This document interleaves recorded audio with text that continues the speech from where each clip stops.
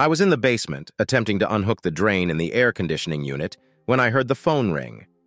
Natalie was cleaning the dishes in the kitchen, so I assumed she'd answer the phone. I heard her pick up the phone via the vent on the second floor. Hello, Catherine. It's nice to hear from you. How long has it been? I did not like Katie. She was Natalie's high school acquaintance, and I had never liked her. Fortunately, we moved out of Lancaster soon after being married. I wish it were a little farther away. Yes, that is what I thought. The past eight years have flown by.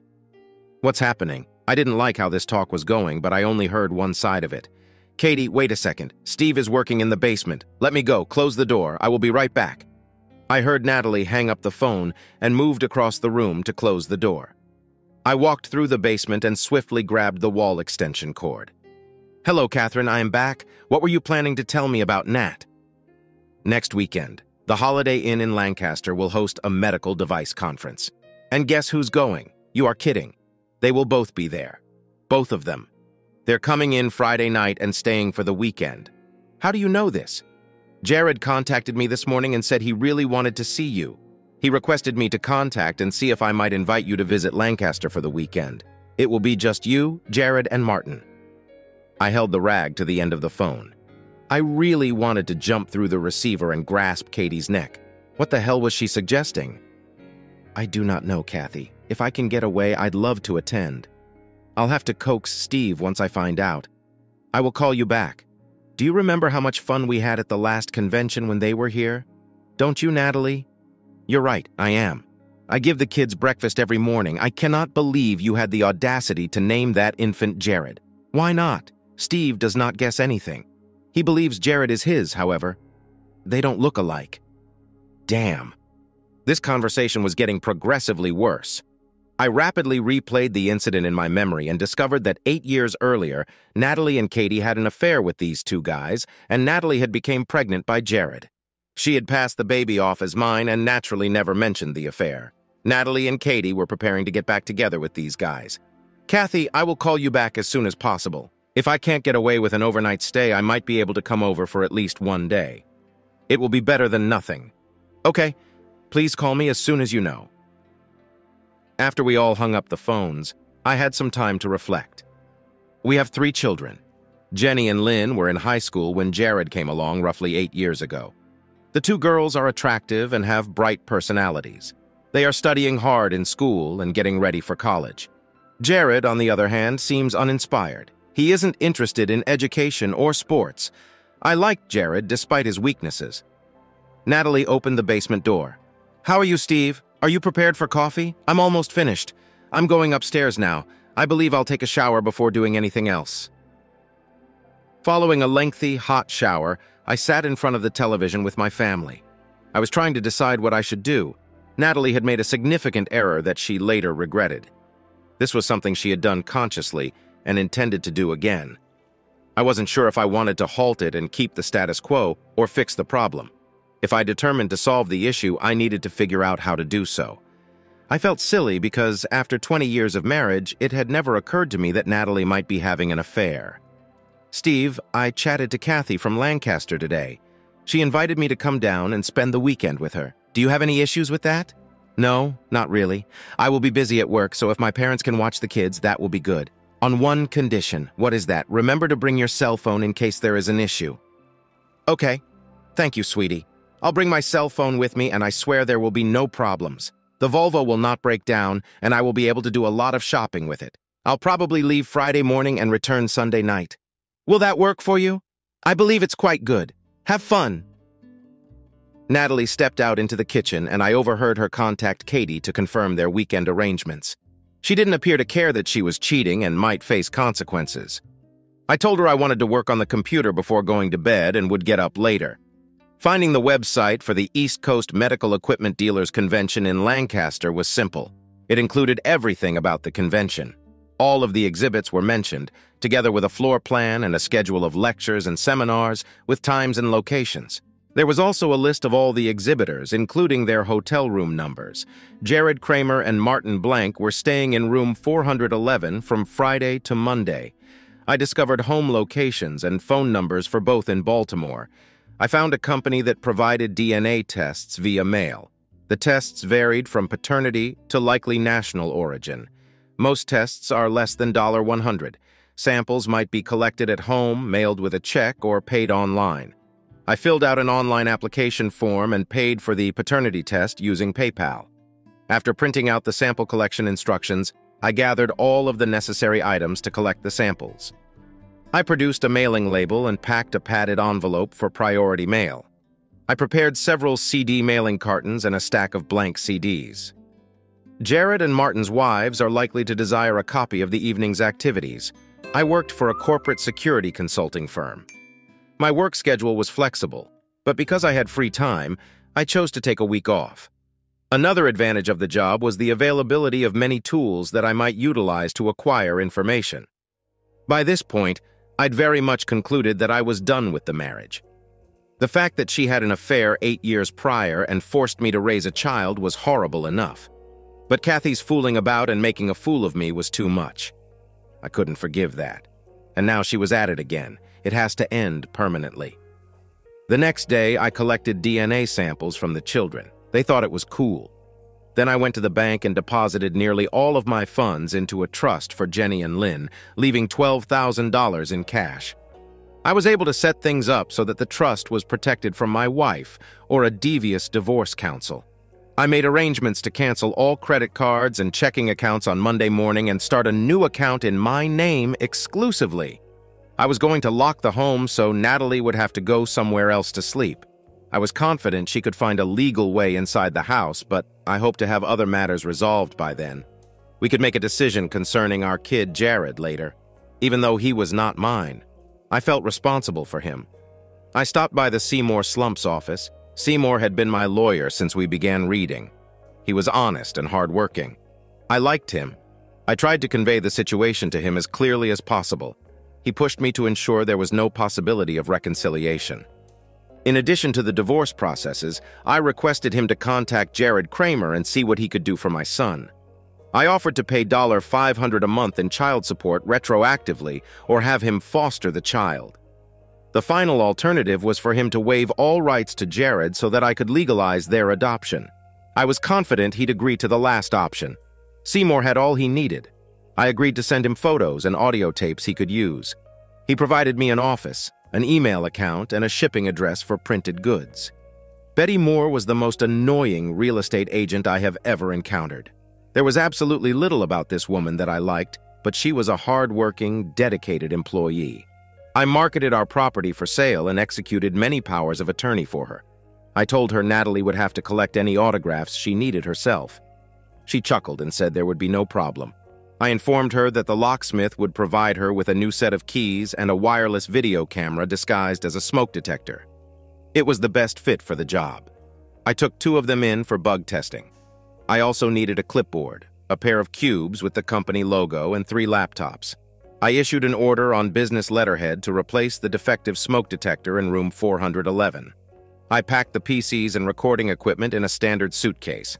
I carried a little stepladder with me. The Holiday Inn had room 311 available, which I reserved under a different name just for Friday. It had Wi-Fi internet. Walmart offered the best deals on discarded cell phones. I took two, just in case. My parents moved into an ancient farmhouse outside Lebanon a few years ago. It was too enormous for the two of them, but Dad had always wanted it. He owned a large garden, hens, and an orchard. Jared enjoyed going there. They were willing to put up with us for however long it required. Dad liked Jared, but named him Jake. He used to say Jared resembled a sandwich salesman. Jared seemed to prefer Jake more than his real name. A few years ago, Dad purchased a large motorhome and a small child to tow it around in. He used it three times before losing interest in it. I instructed Daddy to get the motorhome started and ready. I knew the girls would be unhappy about having to leave their pals for the summer. They still had one year of high school remaining before college, and they intended to attend a prep school in Vermont. Natalie refused to spend the money, despite their age difference of a year. They were in the same grade. Do not ask. I had no idea how Jared would take it. I would address the problem at school later. Right now, I had other issues to cope with. At the very least, all of the kids enjoyed spending time with my parents. Natalie departed early the next morning. She got all dressed up and thanked me again for allowing her to spend time with her pals. I encouraged the youngsters to prepare for their trip and bring enough supplies to last the entire summer. The females grumbled as much as I expected. When I told them to bring brochures from the prep school in Burlington, everything turned out well. They packed all of their school clothing with them just in case. Surprisingly, Jared appeared to be enthused about the vacation. Jenny stepped up to me and stood there. Jenny, what do you need?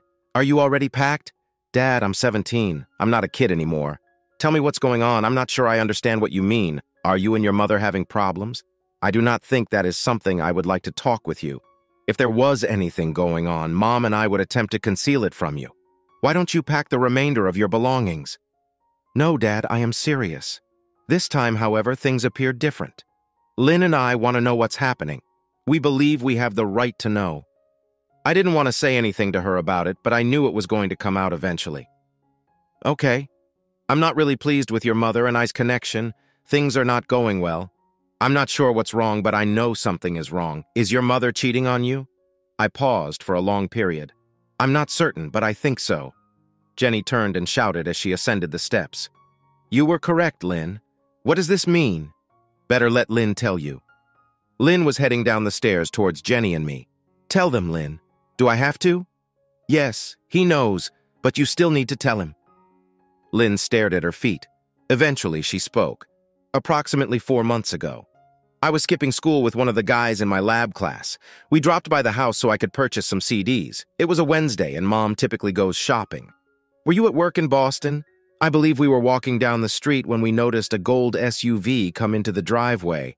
Floyd, who works with you, got out of the car and Mom left him at home. We sat outdoors for nearly two hours before he came out. I waited another ten minutes before entering the house. Mom was taking a shower and your room was completely messed up. I left and returned to school for the remainder of the day. When we arrived home, she had already begun dinner. The bed had been made, and there was a mound of linens in the dryer. I informed Jenny, but she did not trust me. Nobody said anything for nearly 30 seconds. Thanks for informing me, girls. It's not something I wanted to hear, but it's excellent that you informed me. Jenny detected a tear in my eye.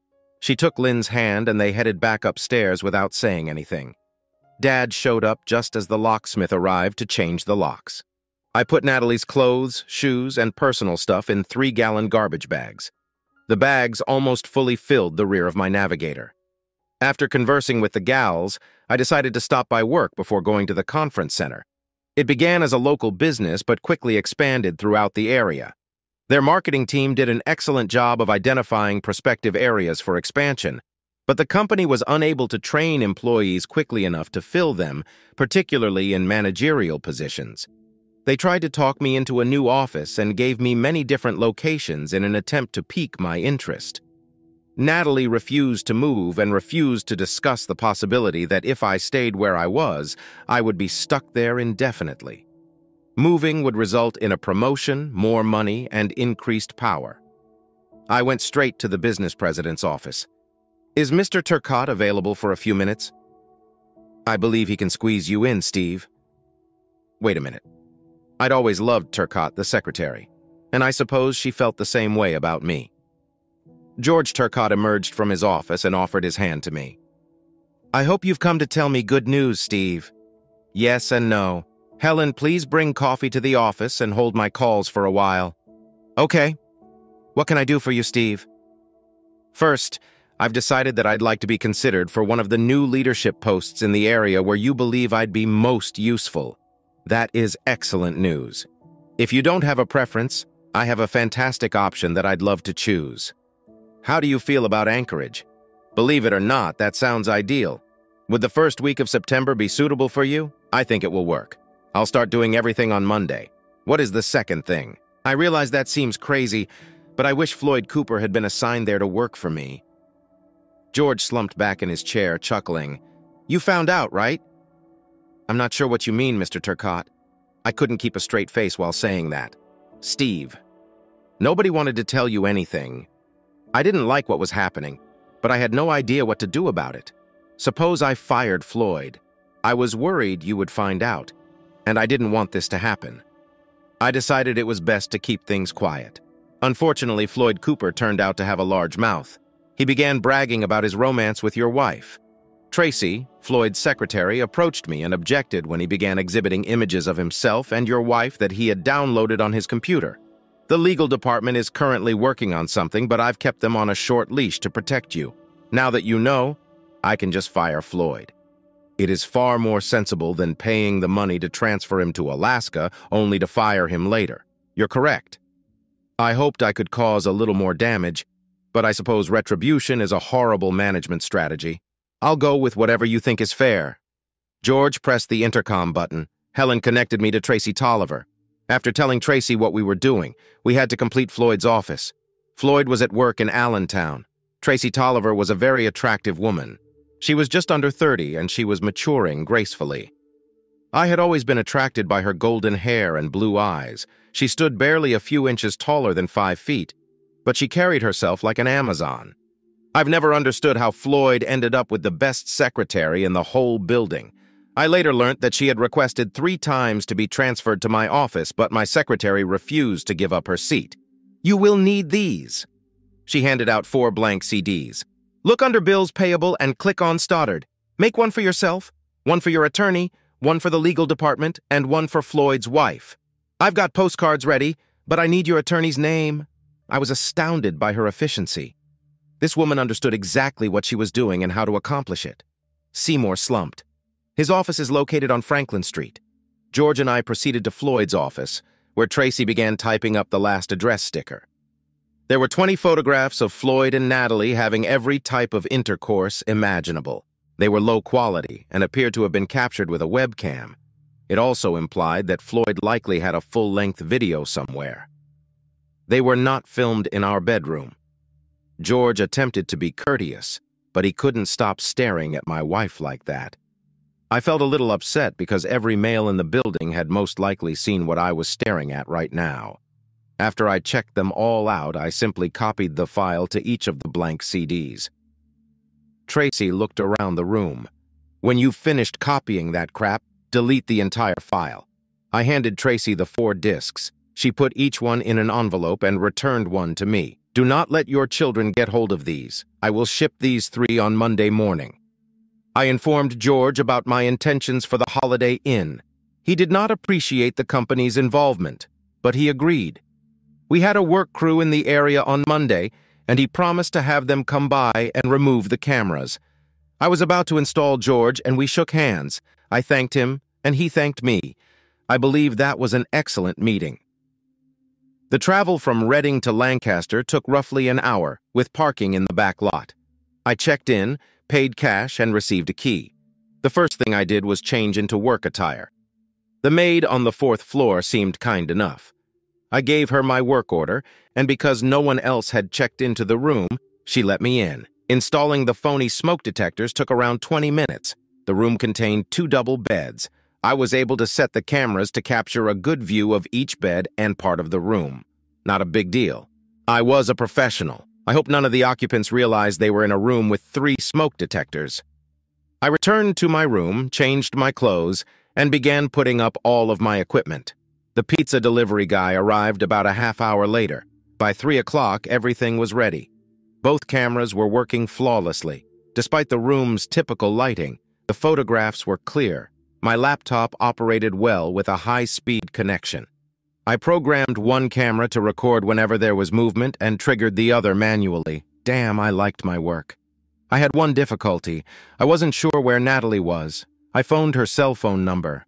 Hello, Stephen. Isn't that an excellent caller ID? Hello, Natalie. I just want to make sure everything is going okay. The kids are with my parents and I am still at work. Where are you currently? We are still at Kathy's. Ray, her husband, will supervise their children. Kathy and I are planning a sleepover at Melanie Thompson's place. A couple other girls from school will be present. It should turn out fantastically. This sounds like fun. Take some images of your perverted dreams. Who is Ray, the guy Kathy is with? Do I know him? I believe so. That's Ray Wilson. He was on the same soccer squad as you. Yeah, it is correct. I remember Ray. How does he look? A little heavier, balder, and softer. This sounds like natural aging to me. Okay, Natalie, I am letting you go. Encounter fun and please contact me if you encounter any troubles. Love you. I love you back. Bye. I remembered Ray as a large, vicious son of a bitch. If they were leaving, they would be here shortly. I assumed they'd take Natalie's car, which I was cool with. Around that time, there was some activity in the first camera, which began recording as expected. There was a lot of idle discussion about the entryway and other things. They were both quite large men. Jared had black hair and dark eyes, whilst Martin was slightly bald and pale. Both seemed to be in good form. The bug detected the ringing of Jared's telephone. Hello, this is a horse farm. What can I do for you? They had a great time together. I wondered how many times they'd used it already. We're here, honey, and we are hot trotters. What do you like? I assumed he was talking to Katie. Okay, this is the Outback. I'll meet you on the stairs in two minutes. At least they planned to feed them first. I sat there, freaking out over everything. If I weren't so preoccupied with the mechanics of what I was doing, I'd probably be preparing to stomp someone. I quickly exited the room and made my way to the stairs at the end of the hallway, which were located around the corner of the building. I noticed Natalie and Katie waiting for me in the foyer. They giggled like two schoolgirls. A minute later, Jared and Martin stepped out of the elevator. Natalie instantly took Jared's hand and kissed him on the cheek in the same manner a wife kisses her husband. They went out and got into a black Mercedes driving away. I looked around the lot and saw the Volvo parked in the final row. At the very least, it made an effort to blend in. Within five minutes, I was already packing garbage bags with her clothes and other stuff into the van. I was confident she'd return from the dinner a little tipsy and not see anything in the car. I put a letter on the driver's seat saying that the house locks had been changed and that I would be taking the kids on an extended vacation. I stopped at Taco Bell to fortify my system for the rest of the evening. They'll eat ribs, and I'll grab a burrito. Suprema. Life simply isn't fair. I returned to my room and waited for the inevitable. I attempted to figure out what else I could do. It took nearly an hour before they returned to the room. I knew what was going to happen when they arrived, but I wasn't sure what to do. I concluded that they had not convened to play canasta. I knew what was going to happen for the rest of the evening, and I wasn't pleased. I suppose Natalie and I were doing great. I assumed she was pleased because she never grumbled or expressed unhappiness with anything. When Jared was born, she told me all kinds of stuff. She stated that she was delighted we had a child since every guy should have a son. I wondered if she had called Jared's biological father to congratulate him at the first opportunity. Damn, that was depressing to think about. I hated spending all these years with this lady who could cheat on me at any time and not feel guilty about it. A woman who could force me to raise someone else's child and find it funny. It was difficult to feel compassion for her at that point. I continued to prepare all I needed. I suppose I was overprepared, but this was my only chance, and I didn't want to miss anything. They rushed into the room, laughing and giggling. Martin had brought a bottle of some kind of drink, and they were able to fill four glasses in the first minute.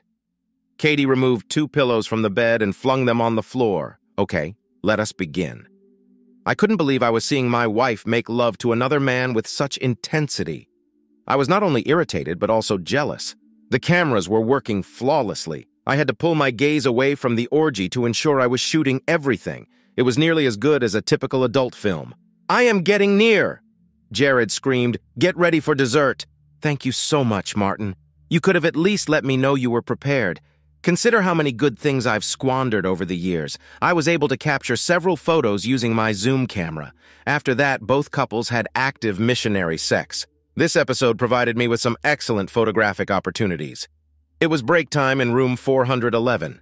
Katie had gone to shower and Natalie was brushing her teeth. Jared and Martin were just lying down and sipping beer. I grabbed the discarded cell phone and phoned Baltimore's number. Hello, Mrs. Kramer. Walter Perkins is attending the medical device convention in Lancaster. Are you Jared Kramer's wife? Yeah, but he isn't here right now. I understand your husband and Mr. Blank earned special distinction at today's event. We would like to give you photos from the ceremony. Do you have an email address that we may send them to? If, of course. It's ekramer at bbw.net. That's great. Do you have Martin Blank's wife's email address, so I may send the photos together? Sure. She is in the back blank at Volcom. Okay, that is all I need. You will have the photos in a few minutes. Sure. She could have monitored the data flow over the hotel's wireless, but I didn't care because I had no connection in room 411. They took a moment to converse and regain their energy. So, Natalie, is your loving hubby looking after my son for me? Of course, silly girl. It's been eight years, and the moron still doesn't understand the baby isn't his. Steve lives in his own universe. He couldn't have known he received a letter in the mail. It would be lovely if you could send a birthday gift or anything every now and then. Yeah, that would be amazing. All he needs is to see something like that to give him a hint. Katie was cut in hell. I have three snot-nosed kids running around my house, and my dummy is not their father. He's so busy drinking beer that he'll never realize they're not his. Everyone laughed at poor Jay, and I captured a good sound clip. I was growing tired with everything, so I decided to call it a night. I logged in and connected to an unused room. After a few entries, I had a live feed from room 411 to the website. I included a headline on the page, Natalie and Katie do, Jared and Martin. My wife and her girlfriend decided the break was over and started getting the guys in for another run. The webcast was going well, and the number of viewers had exceeded 100. It took me about 20 minutes to get everything I needed to put together. I left the live streaming computer for last by now. Over 400 perverts had watched the show, and I'm sure a few were recording it to distribute. Later, I turned off the last rig and called Ray Wilson. Hey, Ray, are you sober? Yeah? Who's that? Just a friend. Ray, I want you to listen to something. I played a short audio clip I recorded with Kathy. Son of a bitch. Where did you get that? Ray. She's in room 411 at the Holiday Inn. There are two guys there, and they're pretty big. So if you plan on going take a bat or something, or they might beat the shit out of you. Ray didn't say a word, and I heard the phone rattle. I had just finished loading the Navigator when Ray jumped out of the Ford pickup with a short aluminum bat for a Little League game and stormed into the building. I was tired but enjoying the ride back to Lebanon. The motorhome was all ready to go. I gave Dad a set of keys to the new house. Mom would go to Lancaster to see Natalie while Dad took the boys to our house and moved all the furniture and stuff out. They had plenty of room to store things in the barn. Mom thought it would be interesting to hear the story from Natalie's side. My parents had the number of one of the discarded cell phones. I have my own cell phone, but I plan to have it turned off most of the time. On Monday, my dad will take the stuff in the Navigator back to Centrex. It was too late to start, but I wanted to be away by the time Natalie figured out what was going on. We had reserved an RV parking lot near Hagerstown where we could get on the highway in the morning. The girls planned the trip for us. They did a pretty good job. The only thing I did was limit the distance between stops because the gasoline was killing me. I was glad I brought a lot of money with me. We finished our three days at Disney and we're heading to Chattanooga to see the aquarium. Jenny asked if she could call her mom. Hi, Mom, it's Jenny. Yeah, just wanted to let you know everything's okay. Yeah, yeah, I know. We're all having a good time. Even Jared. We missed you too. We'll call every couple of days to let you know, okay? Tomorrow night, we leave for Orlando. We will be at Disney for almost a week. We have park tickets for every day. I couldn't believe it. My daughter was framing her mother. That's so cool. We're staying at the Orleans Hotel right in Disneyland. It's going to be so great. Okay, we'll call you in a couple of days. Bye. Jenny, I can't believe you did that. It was really rotten. I know, Lynn, and I thought it would be appropriate. You know, of course, that your mom is on the phone right now buying a plane ticket and booking a room. That's what we thought she'd do. She needs a vacation anyway. Picked up Lynn. Jared, watch the DVD and enjoy his company. Two weeks later, Lynn called her mother. Natalie was very upset because she had spent a whole week looking for us in Orlando. Lynn said that we had decided to go to Six Flags and tried to change the subject of the conversation. Lynn and Jenny kept her on the phone for almost 20 minutes, listening to her rant and rave.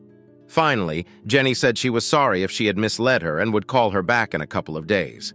My demons giggled for another half hour after they hung up. The next week was hectic. We parked at Smoky Mountains, and the kids were busy while I took care of business. Seymour delivered the divorce papers to Natalie. She didn't know I was doing it until he arrived. He said she was having a seizure.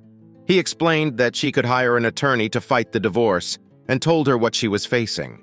He had pictures of her and Floyd, the group in room 411, and the results of the DNA test. Jenny and Lynn were mine, but not Jared's. Natalie hired a lawyer, but ended up going along with what Seymour suggested anyway. Seymour visited the big man, Jared, in the hospital in Baltimore. Kathy's husband did a great job on him, and Martin Ray was facing about five years in prison.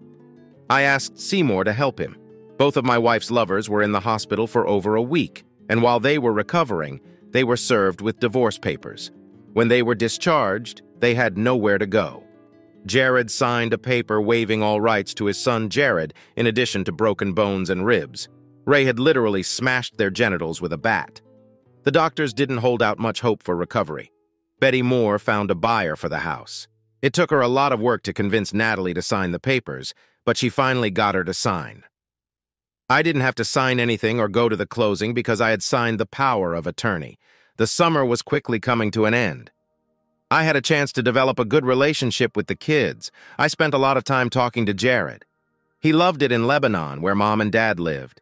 I asked him if he would like to stay on the farm full time, and he immediately agreed. Dad really liked having him around, and I knew he would love to take him in. Seymour filed adoption papers so that my parents would have the legal right to provide for him and take care of him. The only thing Seymour didn't like was getting Natalie to agree to it. Natalie didn't know it, but her father had also gotten Jared's name legally changed to Jake. The girls fell in love with school in Burlington. The end of summer in Vermont was beautiful. We spent a few days getting them settled in. And then Jake and I headed back to the Keystone State. I contacted Mr. Turcott and found out that everything was ready for my move to Alaska. Tracy was already in place and had set up a temporary office. This was good news. She had also rented an apartment for me and had the company car ready for my arrival. I left the Navigator with my father to get rid of. Six months later, things finally settled down. The divorce was final. The girls did well in school and both received scholarship to James Madison University in Virginia. They were happy and excited to be on their own.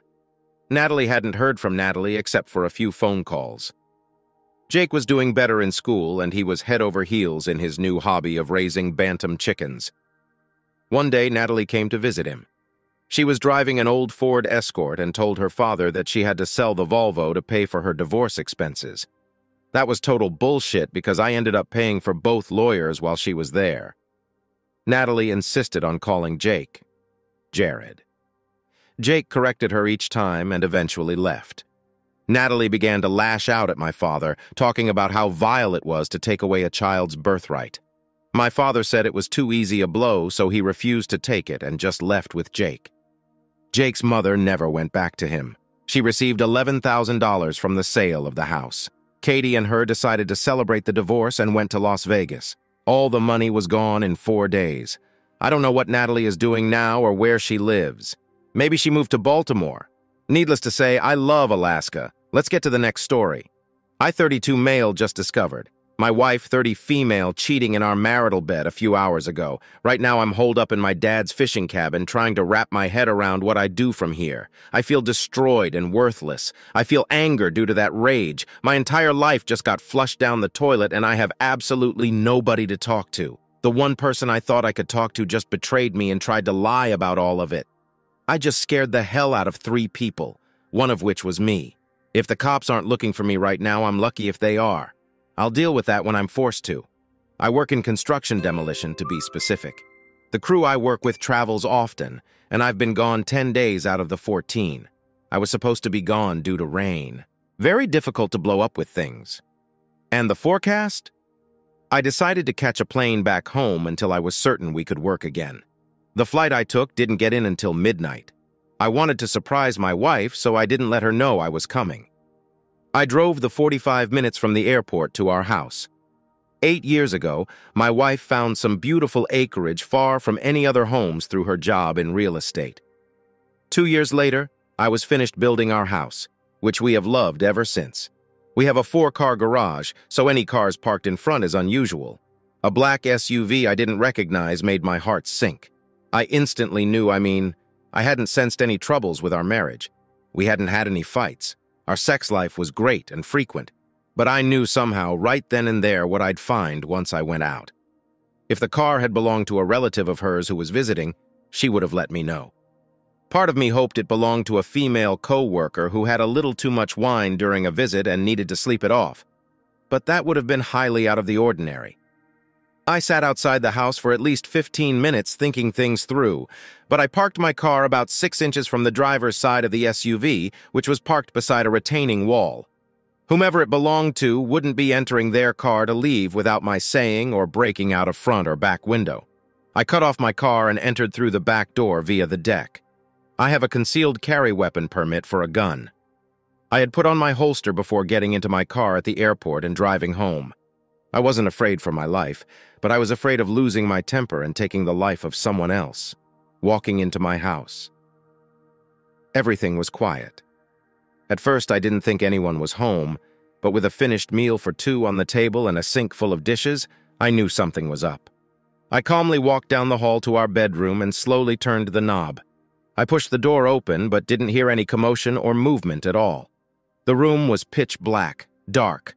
I walked over and turned the light on in the bathroom. When I turned around, there was my wife completely naked, laying on top of some naked guy I'd never seen in my life. I was crushed. It felt like someone had just laid a pound 100 boulder on my chest. I felt tears welled up in my eyes, but I knew tears were pointless and would do nothing to help the situation. I pulled out my phone and began recording. I walked around the bed videoing the pile of flesh in front of me. It began to sink in that my marriage was over. I realized all of our property would be divided evenly, even though I've been 100% faithful. I suddenly realized the house I built with my own bare hands would have to be sold when we divided assets in the divorce. Being physically betrayed felt worse than any pain I could have imagined. Knowing I was getting ready to be financially gutted to nearly made me lose my shit because it seemed so unfair. But I knew damn well I was done with her and would never touch her defiled body again. I was disgusted by what I saw, but mostly at my wife. In my mind, she had gone from sweet, devoted wife to alley crack whore in the span of 15 minutes. Neither moved at all. I was fairly certain they were both passed out drunk. Since the house was going to need to be sold, I suddenly didn't care about any damage to the house I'd worked so hard on. I pulled out my .4 or 5 and just looked at both of them betraying me and my own bed for a second or two. I contemplated shooting her, knowing those bullets would pass right through and kill him as well. But I came to my senses and realized neither were worth getting the electric chair over. And despite the hurt I was feeling, I knew I might want to keep on living after all was said and done. So I pulled back the hammer of my gun, lifted the gun into the air, aiming to my upper right, and fired off two rounds into the ceiling. They both woke instantly. She was trying to push off of him to turn around. He shoved her off of him and into the floor when he suddenly locked eyes with me. Fear doesn't adequately describe the look in his eyes, but compared to the sheer terror in my wife's eyes, he looked rather calm. She tried to tell me it wasn't what it looked like, so I fired around through the bedroom closet door. She shut the fuck up really quickly while he still hadn't said a word. They were each seated on opposite sides of our bed with a sheet pulled up to their necks. I asked the guy who he was, and he said his name was Marcus, I asked my wife how they knew each other, and she explained he owned his own real estate company. Then I asked how long the cheating had been going on because I had been totally clueless that my wife was cheating. She had the audacity to claim that was the first and only time they had slept together. So I fired two rounds into the bed's headboard between them. They both began crying and begging me to stop. So I asked the question again. To my surprise, Marcus answered six months. It pissed me off but at least I knew the truth. I asked my wife when she stopped loving me, and through tears she lied and said she never stopped. I fired two rounds into the bathroom on her side of the bed, and she began screaming as glass from the mirror shattered all over the counter and floor. I told her she was a lying, worthless whore, and I was done with her lies. She was clearly having a panic attack with good reason, but at the moment I didn't care. I asked the guy if he was married. He replied that he was. I asked if he had children. That would miss him. He swallowed before admitting he had two children. I told him I truly appreciated him showing me that my wife is a tramp before we two had children together. But I asked him if having sex with a cheating slut was worth losing his wife and kids over. He begged me not to tell his wife. I told him to shut up because at that moment she had about a 50% chance of her ending up a widow. For the next 15 minutes, I paced at the foot of the bed with a gun drawn, just trying to think. I knew holding them there against their will could be deemed to be taking hostages. I knew I would have to eventually let them go. I told my wife to get up and go get her car keys. She got out of bed and began to reach down and get her clothes off of the floor to put back on. I told her to stop. Clothes weren't needed, and again, to get the keys. She walked down the hall and brought back her keys, handing them to me, still crying. I removed the house key and told her she wouldn't be needing it anymore. I know she wanted to protest. I couldn't do that. And that legally she was right. But a point four or five tends to make debating legality moot. I then told Marcus to stand, get his keys and wallet out of his pants, and to follow me. I led him outside toward his car, where I punched him in the face repeatedly until his nose and mouth were bleeding. After I moved my car so he could get into his SUV, I went back, picked up his keys, told Marcus to stand up. I explained he could go home right then and there to confess everything to his wife, or she'd hear from me within 48 hours with all the evidence of his cheating I had recorded. I also explained he had 45 seconds to get off of my property, or a coroner would be escorting him off of the property. The fact he had no clothes on seemed a secondary issue with the moment he got in his car and peeled away before I counted to 25. I went back inside where my wife had put on a robe and was seated at the kitchen table. I went to the bedroom, picked up her cell phone, and brought it to her in the kitchen. I asked if she wanted to call her parents or her sister to pick her up. She refused. I even asked if she'd like to call the police. I think she anticipated us discussing things to clear the air. So she said no. She began to try and explain, but I stopped her yapping and told her we were done forever as far as I was concerned. I explained our home was no longer her home and she needed to get in her car and drive anywhere. That wasn't our house. I explained I no longer felt any love for her at all after what she'd done, and there would be no second chances. She began to apologize, cry, and plead. Two rounds fired into the double oven and one into the fridge brought blessed silence.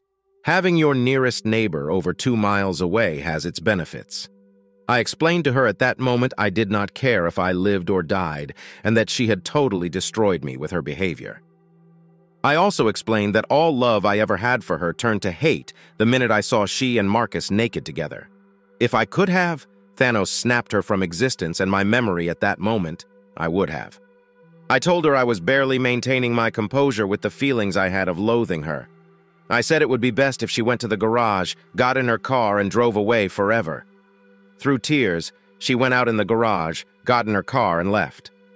That was about five hours ago. Realizing I may have committed a crime or two with my reaction, I didn't want to deal with any cops that happened to show up. I turned off everything and locked the doors before going out and getting into my car again. My dad owns a fishing cabin he and his buddies use fairly often. I drove here and used the hidden spare key to let myself in. It was far too early to call anyone when I got here. I decided I needed a drink, and I'm about a quarter way through a bottle of my father's Balvenie scotch. Dad is going to be pissed about that until I tell him what my wife did. Plus, I'm pretty certain it's the bottle I bought for his birthday last month. I really don't know what to do. I've read through posts here and other subs on Reddit looking for answers, but most seem to be people trying to figure out if their spouse is cheating. I already know the truth. Well, I know as much of the truth as I want to know. The reasons for infidelity all ring hollow. Other posts seem to be some strategies to get a cheater back. Why anyone would want to get back a cheating spouse is beyond me. But I want a divorce. I want it in my favor and as fast as I can get it. She doesn't have the option to pick me ever again. I'm a human, not a carnival prize. I want to remove her from my life and burn any reminder of her in my life. I don't want to ever see or hear from her again. Can everything be taken care of by lawyers? I have money to get things started. What I don't have is the time, energy, and patience to be dealing with this bullshit. Eight fucking years of marriage down the drain. Eight years that I now consider one huge lie. Because after what I just saw, how can I accept anything she has ever said to me as truth? Eight years of my life wasted on an evil bitch fraud. Part of me is wishing I had shot them both and just taken my own life, but that may be the scotch talking. Jesus, I have to get my shit tested just to make sure that Ford didn't give me anything. Actually, I've pissed away a decade on her now that I think about it.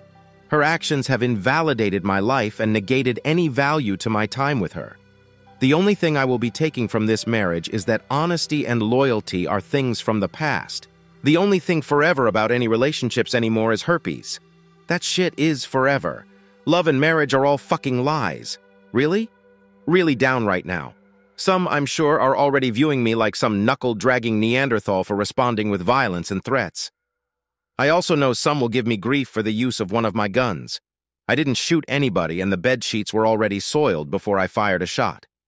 If bullet holes reduce the price, the house can be sold by a few thousand. I can live with that. I just can't deal with this shit. Part of me wants to just eat a damn bullet and give up. The life I had is over and it isn't coming back. Even if I wanted to. People are going to say I dodged a bullet irony. Not having kids with my wife and finding out she's disloyal, it doesn't feel that way right now. I go from crying uncontrollably to rage like I've never known. Either I face this or just end it all. And right now, the second choice seems like the better option. Maybe if I pass out and get a little sleep, things won't seem as bad, but I doubt it. The weather forecast looks like things will be clearing up enough to work in a few days, so I will need to be on a plane the day before.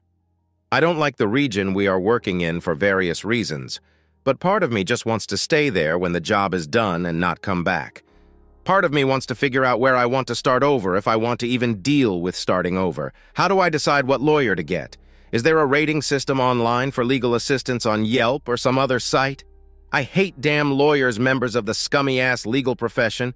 Now I have to find the most hardball lawyer I can find. Sorry for the wall of text. It wasn't as cathartic as I hoped, but nothing is going to remove this heartache anytime soon. What the hell am I supposed to do? What is the point of doing anything? The person I was focused on giving my all for is gone forever, and tonight I learned never existed. I wasn't perfect by any means, but I was faithful. I was never abusive. She'd never heard me really yell until tonight. I was a good husband. I liked being married and faithful. But for every good guy out there, some slut is just waiting to get her claws into him so she can ruin his life for her gain. Fuck this life. Fuck my soon-to-be ex-wife and fuck relationships. I'm just rambling now. Guess I'll go to bed when I wake up. I guess I will call my parents and fill them in on what went down. I'm just in shock, and I've never had heartache like this in my life before. Maybe tomorrow I'll feel better. Update one. I'm honestly not sure if things could have gone much worse for me after posting if I tried, and yeah, I'm sure some will say what I do went too far was over the top or whatever. It seems the law agrees with those people. This update will be a joy for the anti-gun commenters. So let me get this out of the way first so those people can be overjoyed with what I'm facing.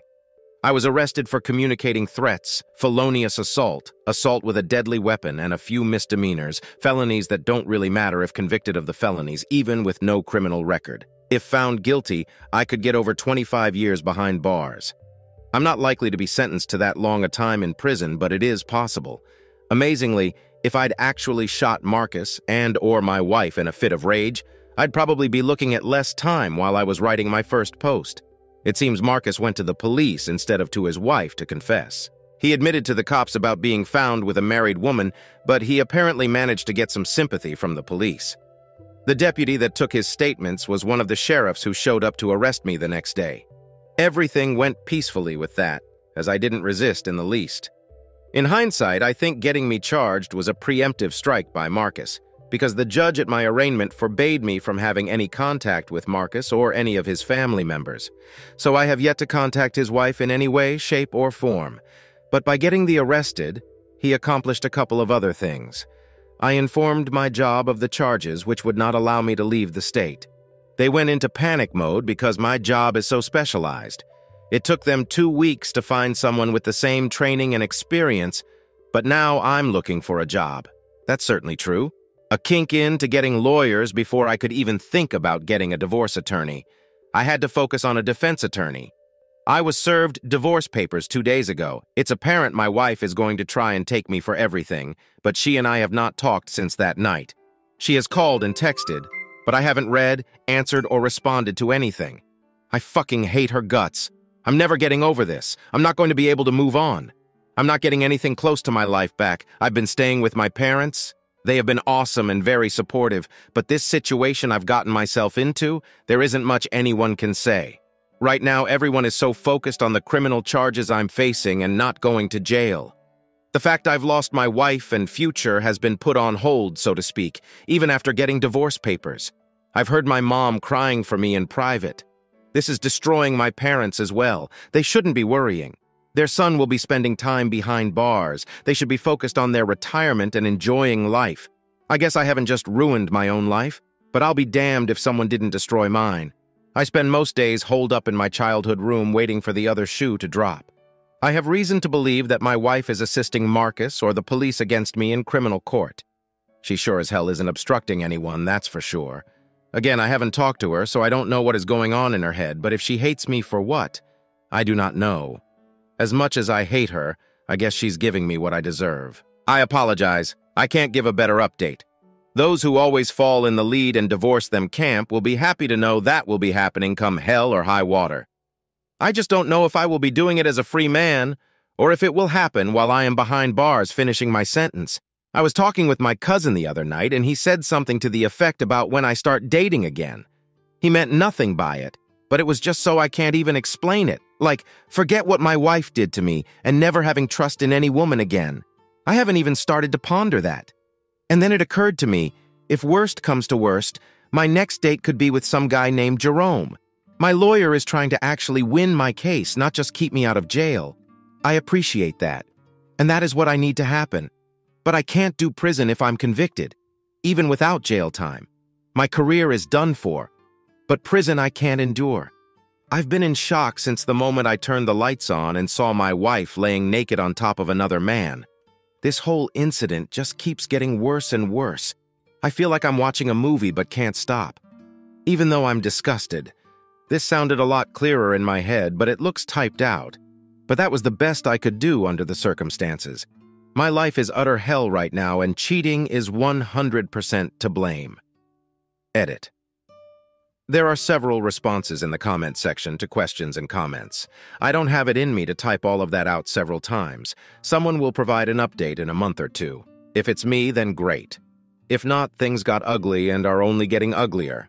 Update 2, I will try and explain what has happened since my update, even though I know I will give incorrect legal terms and words in the process. But from what I was told, it is a federal law for the prosecution and defense to present all evidence and potential witnesses before a trial. There was a reason my lawyer kept the footage of my setbacks and Marcus cheating a secret. It wasn't like a trial, more like a hearing, but there was a judge presiding. My lawyer actually introduced a USB drive as the evidence, but had the footage on a tablet. Long story short, Marcus either didn't know I had proof or forgot I had told him. I did remember putting my phone away after recording them before I pulled my gun. So he and my wife never saw the phone. He refused to testify and the charges were dropped. His father is a retired judge and he a business owner. He couldn't have that entered into evidence and seen by the public from a trial with his name attached to it. So I truly dodged a bullet. My lawyer is almost certain she could have gotten a jury to find me not guilty, but no charges or trial is even better. Marcus left the courtroom before I was allowed to go. As soon as I turned my phone on, I got notifications about missed texts and calls from a random number I assumed to be my wife. I didn't respond to anything because I didn't read or listen to anything, but I was sure she just found out I had video evidence. She was either trying to make peace or war. Her lawyer could talk to my lawyer and know I still have not communicated with her in any way, shape, or form. The moment I saw her cheating on me, she was dead to me. If I want to talk to the dead, I'll have a silence. I have a very reputable divorce attorney, and he was the person I was first trying to call after charges were dropped. Obviously, the footage will be needed in divorce court, so I can't go show it to Marcus' wife. Not yet, anyway. I think she'd hear about things through the grapevine, but who knows? He probably made some sort of preemptive strike and told his wife something just in case, but I highly doubt he made a full confession. My parents were relieved. I called them on vacation to tell them the good, unexpected news. We all were expecting it to go to trial. Nobody truly expected that hearing to end things on the criminal front. Now I focus on divorce, and my lawyer has my wife's filed divorce paperwork. It's not going to be the cakewalk. My setbacks thought it would be. As of right now, she is living in the house. That puts me at a disadvantage, but my lawyer is hoping to negate that with some filed paperwork. I do not want to move back into that house. I never want to live there after witnessing what I saw. Plus, I heard it needs some repairs and new appliances. But honestly, I don't want her to have it either, with housing prices through the roof. I want it sold outright as well as the land. She shouldn't get it if for no other reason. Being the one who broke up the marriage. If she wanted to keep living there, she should have kept her legs closed. Actions have consequences. And if she thinks getting some strange PhD is worth losing a house over, she really shouldn't be in real estate. On the job front, I plan to use this coming week to either get my old job back or get a new job. I don't want to knock anyone out of a job, especially in such a specialized field. But I have to pay lawyers to do things I never wanted to now. I know whoever replaced me cannot have the experience and knowledge I do in addition to knowing the team. I don't think I will be unemployed either way for very long. I never thought I'd say I'll be glad to get back to work, but the last few months haven't been a vacation. I just need something to focus on now besides the divorce. And I want to try and forget that fucked up night. I'm probably lucky I'm not dead. And I'm very lucky I'm not behind bars. But the whole situation just pisses me off. Not just the money, pissed away on legal fees, the wasted time, the words I believed I now know are lies, the deception. I never knew her. I couldn't have. And to think I behaved like an idiot over someone I never knew was disturbing. I mean, if you want to go postal and beat the hell out of someone over a worthy, loyal, loving woman, have at it.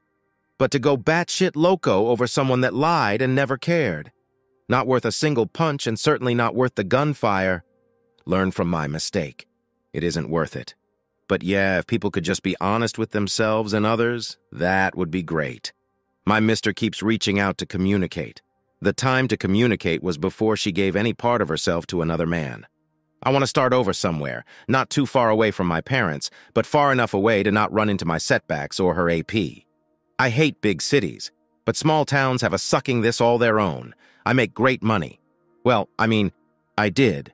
And well, again, just starting over with new everything after the last couple of months sounds so appealing. I just can't think of anywhere I want to live. I just know now I don't want to live here. I am so glad we didn't have children. Or this experience would be far worse.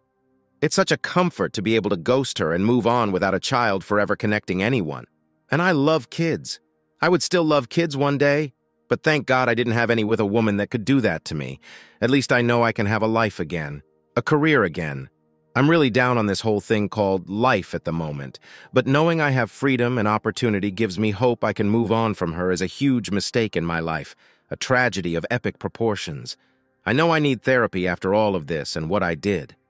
I have an appointment scheduled in two weeks to start individual counseling. I already know I will get blasted over anger issues, but I need to hear it and I need someone to help me put my life back together after everything came unhinged. I appreciate the advice given to me here. I appreciate the kind words and even the haters. What I did was fucked up. I admit that I can only better myself going forward. I can't change who I was in the past. Final update, marriage demolition. I've been pondering for days how to even begin to explain what has happened and where things stand. I owed it to those that have given me good advice since my screw-up to give an update but just writing out what has happened and all the details and drama would take way too long. Our lawyers began corresponding my setbacks. W side kept requesting. She and I talk, and I kept saying no.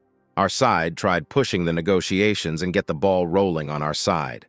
Every time the house and property got mentioned, my lawyer felt they were acting twitchy, whatever that means but they still wanted to meet face to face and talk, saying it was very important for both of our futures going forward to partner together.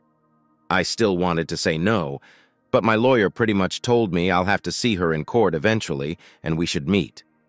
My lawyer wanted to know exactly what they would say, an angle they were playing. I just didn't want to see her or hear her voice. They weren't willing to do a group text. So we met. We met in a conference room at my lawyer's office. I was seated when my wife and her lawyer came in. I wanted my gaze to convey a touch of hate with ample disgust thrown in. She started crying and walking toward me, so apparently it didn't work. I told her to back the fuck up, which made her cry harder. I began moving back and away from her, which got her to stop coming forward. I'll spare everybody the specifics, but I pretty much cursed her out worse than any human has been cursed out before that fateful night. She'd never heard me yell at her before that day in the conference room. I'd never cursed her, not even that horrible night. I let it all out. Every vile thing I had thought about her, every horrible thing I believed about her, and everything I wished would happen to her. Her lawyer was really shocked. Mine was just a little shocked. But I told him to expect it when he agreed to the meeting. My wife finally grasped I meant every word and hated her for what she'd done to us. What she'd done to me before the meeting ever started. We had to take a 30-minute break to calm down. When we actually did meet, my wife had a request to speak to me without interruption. I couldn't give a word-for-word account of what she said if I tried. So I won't. She started out saying she was extremely sorry for everything that has happened. She wished I would talk to her or answer her texts, but accepted that wasn't going to happen after what I said earlier. Then she went straight into telling me the land we owned could be worth a huge amount of money in the not-too-distant future. Apparently, a company I will not name but everyone has heard of might want to purchase a huge amount of land to build on. The deal would be conditional on getting other landowners to sell, and I'm talking about a ton of acreage that the company would be buying up. Our land is in a zone of the country X number of miles from a power station, X miles from a major highway, airport, water source, etc. It fits all of their qualifications. Then she said, We really need to discuss the land because she can't sell it without me. That is when I stopped her. I said, But you could have if I'd gone to prison, couldn't you? It wasn't a question. I knew the answer from her lawyer's expression. Then she came out saying she told Marcus not to press charges. Fuck me running. I wanted to hit someone, but I can't hit a woman. And my lawyer would sue me. I didn't care. They kept communicating after that night, but it still pissed me off. She said they had to stay in contact because he was the person behind the attempted sale. As the agent, he stands to make a mint. As the owners, we stand to make more. He has government and real estate connections stretching far and wide because of his parents' careers. But when he saw the opportunity to remove me from the equation, he took it. He never showed up anywhere naked. He had clothes in his car, but I didn't know. The cops got a very different story than what actually happened, but I'm not surprised. When I got charged, my wife claimed she wouldn't testify, but she couldn't get me to respond to her. She claimed she was glad I got the charges dropped. That was when I asked if she was glad before she found out I had recorded her and Marcus. She didn't answer. I let her and her lawyer see the footage I'd taken by passing them my phone. I don't think my lawyer wanted me showing it, but they knew it existed and I couldn't show it to anyone else yet. I told her that Marcus' wife would see that footage eventually. That's when she told me doing so would be losing out on a ton of money. I'd never been working my job. I asked if that was why she cheated. Money. Greed. I should be not. She actually told me she cheated for us. The argument that ensued over that comment alone went on for over an hour. We took a lunch break and I went off to eat alone for an hour just to get away from everyone. In one very odd way, she'd given me good news, but it was gift-wrapped in shit. The lawyers loved hearing of the potential sale of land. They knew we'd find out about it eventually, and any potential immediate sale I would have to agree to. So they spelt I can nix the whole deal if I choose to. It won't cost Marcus a cent yet, but it would keep me from making a lot of money. But I can't make a lot of money unless my TBCCW makes a lot of money too. When I went back to the meeting, my wife pretty much explained how all of this got started. She was doing one of those parade of home showings. Marcus Agency was showing two of the homes. They knew who each other were from traveling in the same circles, but he approached her and asked if we were happy living where we were. From there, he explained, he knew an agent specialized in business manufacturing sites. He explained his idea, and I guess she saw dollar signs. Marcus, a trusted POS in our area, could probably buy up the land from locals much easier than someone they never met. The two agents working together could easily buy low and sell high. The deal couldn't be made without us due to the positioning of our land. Marcus and my wife got involved talking to locals and planning things out. Then they got involved physically, so six months before I knew my marriage had ended, it ended. She swore the two of them just got caught up in their excitement over the money. She said it didn't mean anything, it was just sex. I wanted to try and break my recent world cursing record, but I tried to not explode. I asked if she and I paused, used condoms. She said they did at first, but because she was on the pill. Well, six days. Six fucking days? I shouted before calling her a disgusting, worthless whore. She asked what I was talking about. So I proceeded to explain that when a man orgasms inside a woman, that's how long jizz can stay inside her. I really wanted to vomit, thinking about what she subjected me to. I asked how she'd like me go to a prostitute, stick my fingers inside, and then put them in her mouth. Yes, it's disgusting, but it's the equivalent of what she did. She tried to claim she took showers. I told her unless she was able to stand on her head, spread her legs to rinse out, she's a nasty slut. And she wondered why I look at her with a revolted expression. It's because I'm revolted. She's disgusting and subjected me against my will to shit. I don't even want to think about. That isn't even taking into consideration things she did with her mouth. Marcus can have the tramp. She's infected with his shoes now, but I had to get out of there. I was no more good for the rest of the day. I went and got drunk for the first time since my after party at my dad's cabin. Part of me should be really happy, and I am. I know if things work out, I'll be able to pay my lawyers in full, repay my parents tenfold, and have a huge amount of money to start over almost anywhere. But the BS I've had to agree to in order to get that money makes me sicker than my wife. Three damn lawyers wrote up an agreement. Our two lawyers wrote up an even split divorce. We cannot divorce until the land sells or the deal falls through. But the divorce will go through, and my marriage is over. It isn't like I'm in some hurry to be single so I can marry again. I fucking ghosted her really well, despite my unfortunate marriage status. It isn't like I have to see or talk to the immoral Jezebel, but it does bother me to still have any tie with her in any way.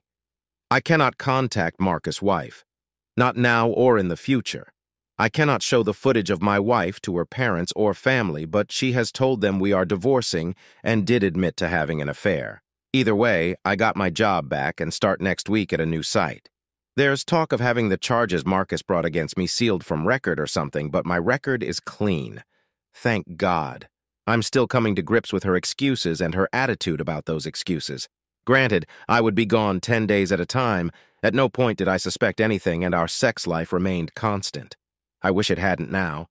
At least the poor sobs and dead bedrooms don't have to worry about swapping spit with a stranger. Her putting her tongue in his mouth or anywhere else and kissing me was the equivalent of letting a stranger spit in my mouth against my will. But sick. Cheating trash like my wife and Marcus don't seem to grasp that. I can only imagine Marcus' sex life with his wife continued during the affair. I really do wonder if she has any idea. She went down on my wife by proxy at some point, knowing what I know now. I'm glad I punched Marcus in the mouth, still glad I didn't kill them or myself. But they are both disgusting. Like lick a hobo's ass in an alley on a pile of garbage. Nasty humans just disgust me now. How she could willingly give her body to two different men back and forth is beyond my comprehension. I'll work like I've done for years, but I won't have any place to come home to. She can stay in the house until the sale and pays all costs. The house will be demolished, so nobody will live there after the sale. The majority of our land is undeveloped. There is no way in hell to move the house out. And miles away, when I'm needed to sign paperwork, I'll be given notice, and I'll show up to sign. Then our roads part ways faster than my wife's legs for a $100 bill, and I can move on with cash in hand. But she ruined me, and it's not fucking fair. I had many opportunities to cheat over the years, but didn't for many reasons. Loyalty being first and foremost.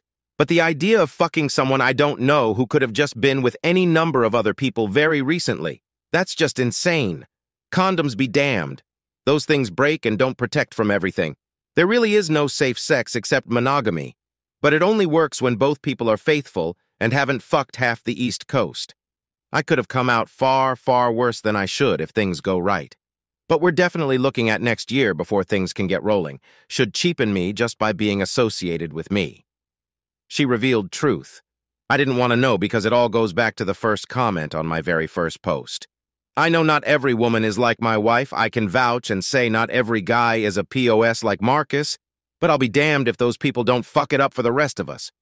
Why does it seem to loyal people with a great bond never meet? Almost every post on here is a nice guy. Great girl who got involved with a whore, man whore, and the consequences of that bad decision. Forget being able to trust again. I can't get past the idea of ever wanting to trust anyone like that again. Nobody is worth what she put me through, and she sure as hell wasn't. It pisses me off. He's going to get away with it. I guess the world will have to wait and see if karma can scare him like I did. I can't really see any reason for another update. She and I will divorce. Money will be deposited in my account and her account. And I will never see or speak to her again. That's how it will end either way. It's just on hold indefinitely. I want to thank those that gave me advice, told me to keep my mouth shut, and urged me to get lawyers to those that told me to stay strong. I appreciate you. To those that felt I should eat a bullet, go eat a hobo diet, I will wait a day or two after posting to respond to a few comments. Then I'll probably go away. I pray healing for everyone who has been cheated on. I wish it upon myself. Thank you for taking the time to hear today's tales. If you enjoyed the article, please feel free to like and subscribe if you haven't already. If you have a tale to share with me regarding your own or someone else's circumstance, please do not hesitate to contact me. Take care.